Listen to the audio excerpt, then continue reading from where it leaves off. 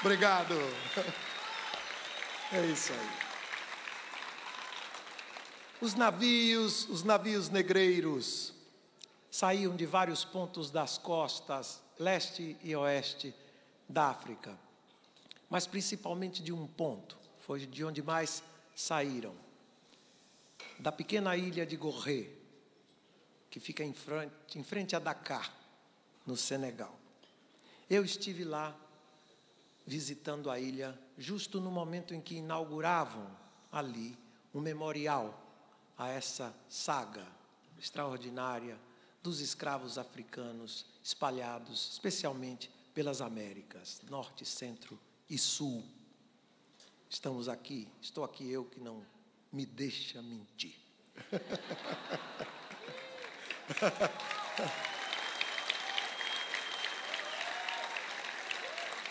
Justo. E anos depois, Capinã, José Carlos Capinã, meu querido parceiro, esteve também em visita à ilha de Gorré. Ao voltar de lá, me telefonou e me disse: Gil, eu estive em Gorré, fiquei tomado de uma grande emoção. Resolvi escrever umas coisas, havia ele escrito algumas palavras em francês, que hoje é a língua que se fala no Senegal, é a língua que se fala em vários países da África, é uma consequência da colonização, é aquilo que eles chamam de a francofonia.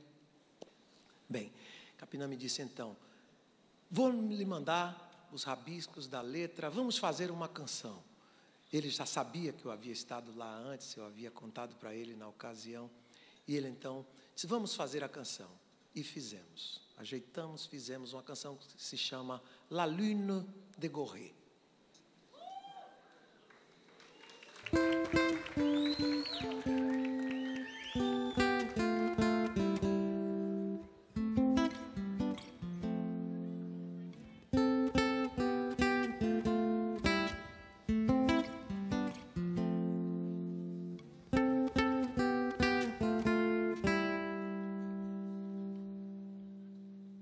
La lune qui se lève sur l'île des Gorées, c'est la même lune qui sur tous les mondes s'élève, c'est la même lune qui sur tous les mondes s'élève. Mais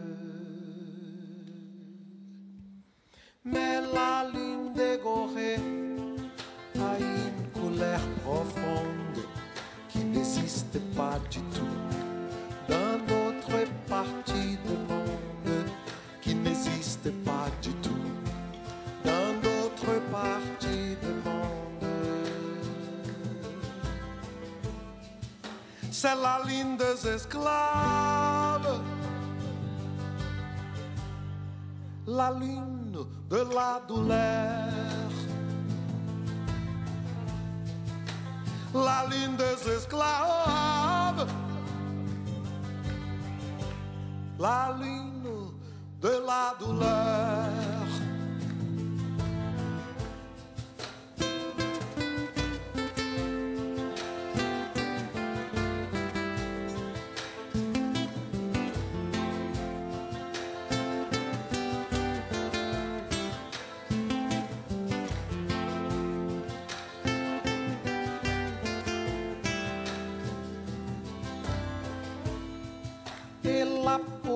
Se trouve sur les corps décorés.